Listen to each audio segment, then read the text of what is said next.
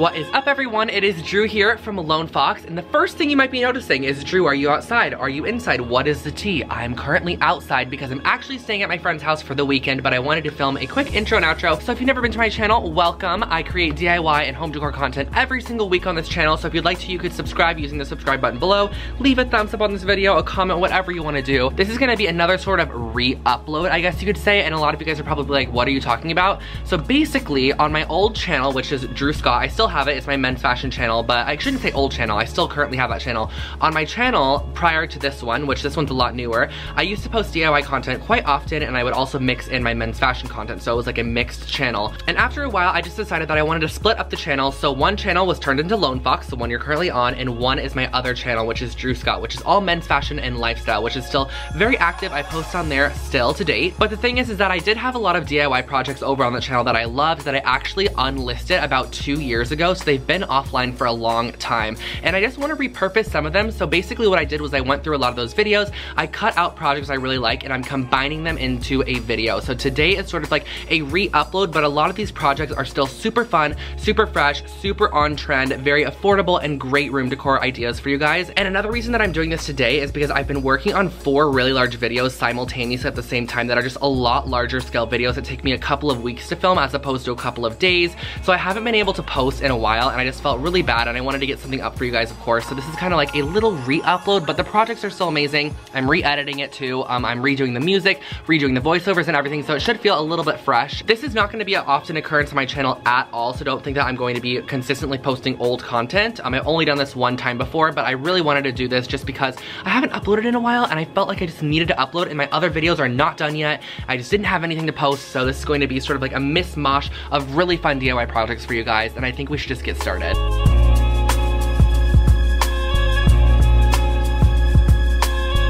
To start this project, I'm using some quick dry concrete powder um, and I'm gonna mix this up with some water to create our very own concrete. And the thing that I love about working with concrete is that it is so affordable. The entire bag cost me $6 and I've probably used it for over a year now. Like, I swear to you guys, I have been using concrete forever and this bag has lasted me such a long time.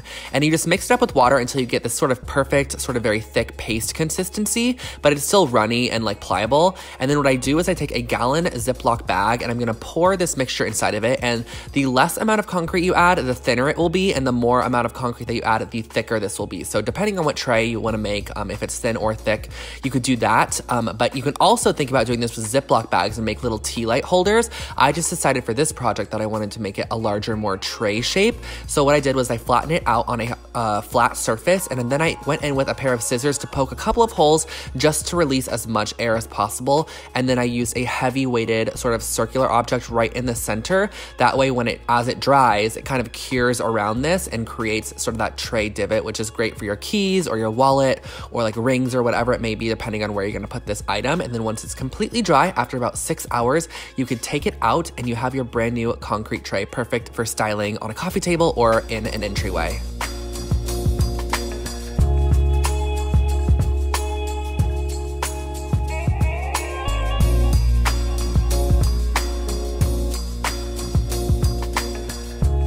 To start off this next project, I am using a canvas, some yarn, some spray adhesive, white spray paint, and a pair of scissors. And what I'm starting off by doing is taking my yarn and just creating very organic shapes. I'm just creating like loops and strands and layering it on top of each other and just sort of letting it fall wherever it wants to fall. Like I don't really care where it goes. I'm just trying to create a lot of visual interest and 3D element. And this canvas to me is a great standalone piece, but it's also a great piece for like a gallery wall or to layer on a shelf or whatever it might be because I think it has a lot of visual interest interest um, on the canvas, of course. And I like the green color against the white because once we actually spray it with white, it kind of creates a very soft minty color. And I'm going in now into sort of uh, freshening up some of the edges, making some of the loops look a lot nicer. I just love the way this looks. I think it looks very artistic and something you'd see in a museum and be like, oh, I can recreate that, so I'm gonna probably do it like in a DIY project. That's exactly what I did here. And I layered a couple coats of a spray adhesive and just let it dry in between, sort of to create a kind of like a rock barrier on the entire thing. And then I went in and I sprayed over the top of it with some white spray paint.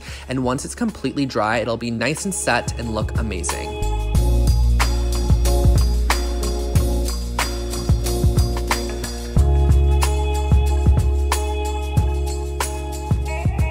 What you're gonna need for this project is some wood pieces, paracord, spray paint if you want to, wall hangers, and scissors. So what I started off by doing was spraying one of my wood pieces. This was a scrap piece of like two by four that was just like randomly on the ground outside. I literally swear to you, I found it outside. And then I'm using some hammered finish spray paint to just spray over the top of this. But I also found these little wooden signs at Michael's and you can use coupons for these. You can use like a 40% off or a 50% off. And it was like $8, so maybe $4 in the end. And I used some paracord. And what I'm doing is I'm looping it around one side, holding it in the top center, looping it around the opposite side, pulling it up to the middle so that you have basically the uh, loops on either side to hold either edge, and then tying a knot in the center top. And this just kind of has to be perfectly placed in the center because you want the weight to be distributed equally. And this is what the shape looks like once you're completely done. And then you can go ahead and hang it up with a little hanger, and you can secure the strings on either side with some hot glue on the underside, or you can just balance your objects on top of the shelf and just make it work, which is exactly what I did.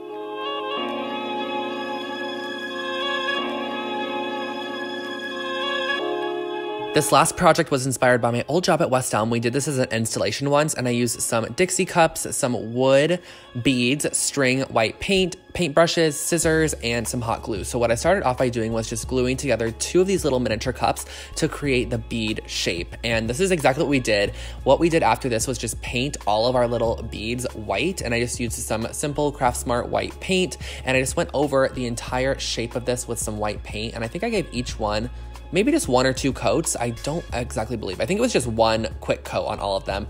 And then what I did was I took my string and a spare piece of wire and I used a little bit of tape. And this is just kind of to create a faux needle because we basically need to thread through our string on a really long surface.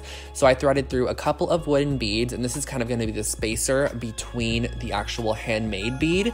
So I did a couple of wooden beads and then poked a hole on each side of the cup just as shown here with the scissors, and then I strung it through. That's where the wire comes in handy. And we're just creating a garland, and this project is great if you wanna put it over the top of a fireplace, over the top of a mirror, if you wanna use it for a birthday party, you can customize the colors, customize the shapes, add different beads if you want to. It's just like a fun idea I thought I would share with you guys because it's a great affordable way to create a DIY garland that looks sort of handmade and fun. So that is exactly how you finish off the project by looping your thread through at the end and then hang it up however you desire and you are good to go.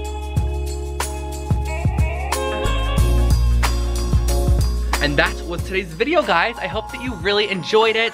Um, I swear this is not gonna be a common occurrence of re-uploading. I don't like the idea of re-uploading at all, but sometimes as a solo creator who does everything myself, I do all the room designs myself, all the DIY projects myself, all the editing, coloring, videography. I do absolutely everything myself. So when I have larger scale projects that take multiple weeks or like a couple days to film, sometimes it's nice to just go back to some of my older content that is still super high quality and amazing and just repurpose it because a lot of you haven't seen it and I would love for you guys to be able to watch that content again because it's really amazing and I think you guys can definitely benefit from it, of course, which is why I'm reposting it. If it was bad content, I would have never reposted it. And that's today's video. I hope you did enjoy. Um, if you did, definitely give it a thumbs up. Let me know in the comment section below which was your favorite project in the video. I would love to know as well. And don't forget to also subscribe to my channel for brand new videos every single week on DIY and home decor. Guys, I have some really amazing transformations coming, room transformations with other YouTubers. Yes, I'm gonna have a collab that I'm filming next week. I'm so excited for, and I also have a really large makeover in my own personal apartment that you're gonna see very shortly as well. So stay subscribed, stay shooketh, and um, I think I'm gonna catch you next one. Okay, bye guys.